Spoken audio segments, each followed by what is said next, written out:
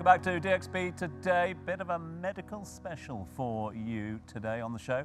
Uh, we're looking at how the sort of barriers of healthcare are being pushed here in the region at the moment, what the future of medicine looks like, and what role uh, Dubai and organisations here in Dubai are playing to that end. Well, our next guest turned her personal struggle with stress into a global healthcare platform supporting patients, providers, and suppliers at every stage. Decade of health and wellness research driving her mission as she's revolutionizing the healthcare industry. Uh, please welcome Yunche Wilson to the to the stage. It's not a stage, it's Stage, stage, stage. but it might as well be a stage as well.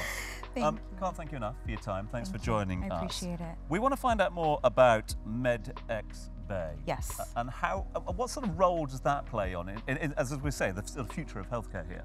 So essentially, the simple way to put it is that we work with patients, healthcare providers, and medical suppliers to bring together an entire ecosystem. Okay.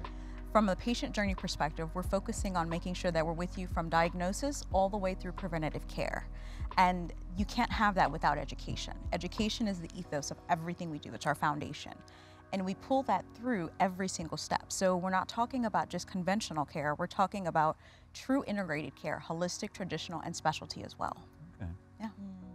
Uh, What, what would you actually say are the main challenges? Because you've spoken about the future and, and how we have so much to look forward to to increase, I guess, the state of healthcare as it, as it is today. But what do you think are the current challenges that we're facing? Uh, that for every one of those individuals, it's plenty. Um, when we're talking about um, healthcare at, as a foundation for patients, it's education. They don't know what they don't know. How can you seek help when you don't know what's actually wrong with you or what options are available to you? Mm-hmm. So we aim to close that gap by doing that first and making sure that they feel supported through community. Because a lot of times that journey is lonely. I know for me, when I was going through what I was going through a decade ago, I didn't have the information, I didn't have proper access, and I was immediately misdiagnosed.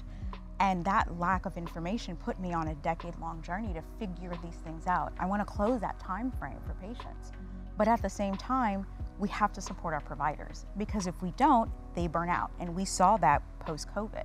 We saw what was happening to them, and we're not seeing the same, we're seeing a stronger attrition rate happening now. More and more providers across the board are quitting. How are we replacing them? What are we doing to support them? So while we talk about AI and all of these great things, these tools, they too need to be educated and feel supported that we're not trying to replace them, we're trying to amplify and empower them. I love that. Right? Yeah, and say, um, we talked before the show a little bit about challenges. Yes. So I'm the CEO of a group of hospitals. Mm-hmm.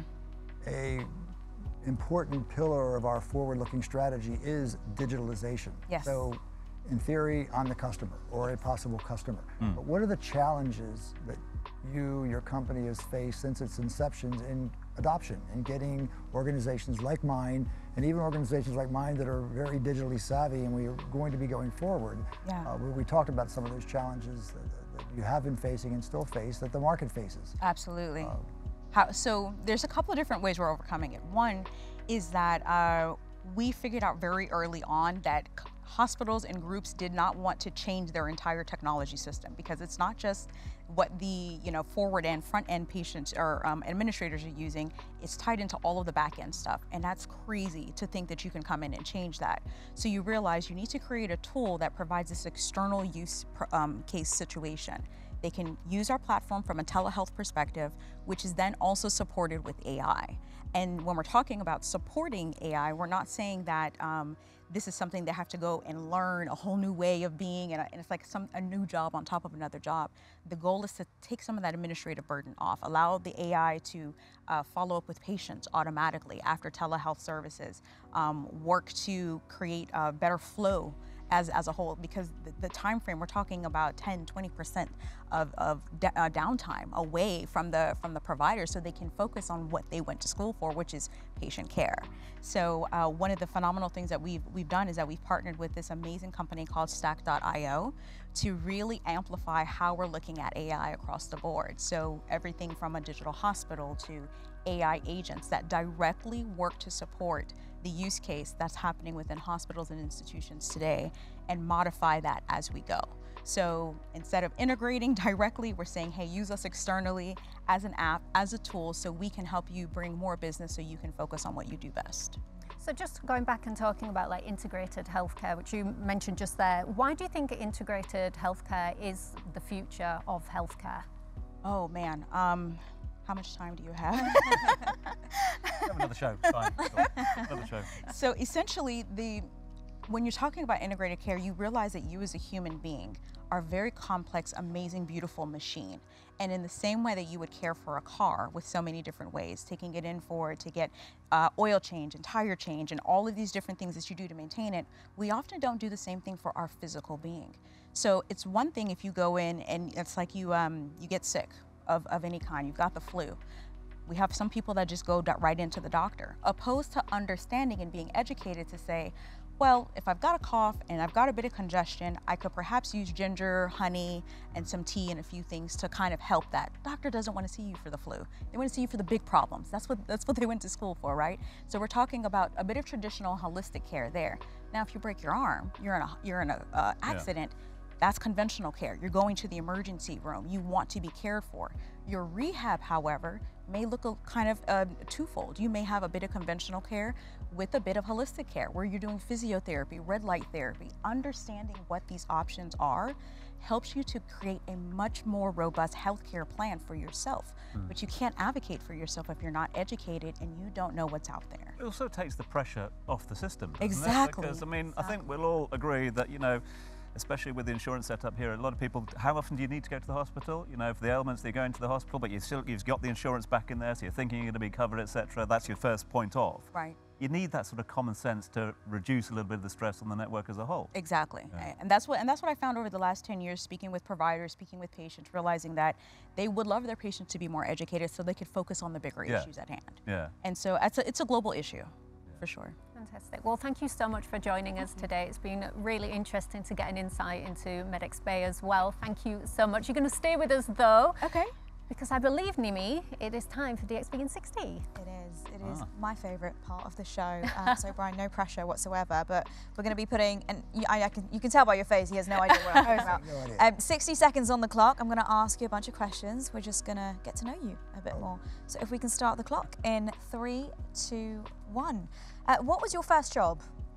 First job working, delivering newspapers. Wow. Your, what is your motto in life and in work? Uh, help others. If you could travel anywhere in the world, where would you go? Ooh, tough. Um, back to Tuscany with my wife. Beautiful. With the wife as well, he added that. I like that. If you could have an AI assistant, what tasks would you want it to handle? Um, responding to the thousands of WhatsApp messages. that we get. Same. Favorite movie or series that you've watched? Favorite movie? It's a Wonderful Life. Mm -hmm. Your go-to restaurant right here in Dubai. Casamia the Meridian. Uh, what is a skill that you wish you had? Juggling while riding a unicycle. And how do you unwind after a busy day? uh, going to the gym, meditating, and talking to my wonderful wife. And lastly, why Dubai? Um, I I was here with Johns Hopkins in the UAE 17 years ago, and then I, I left and I was working in Europe. Uh, I was looking to start a digital health company, uh, similar, very similar to uh, our guest today, and I was really looking at all over the world where, and it was Dubai was the best place if you're going to be doing something digital and for the future. So I came back. Love that. Love that. Thank you, Brian. That's your DXB in 60. Right, bless you. Really, thank you. Thanks. Great to see you yet again. Thank you for sharing your knowledge with us this evening here on DXB today. We'll get you back very soon, and thanks Wonderful. very much indeed for being with us, Anucha. Thank you very much indeed. All the best with the uh, with the venture, uh, and I'm sure our paths will cross again. Right.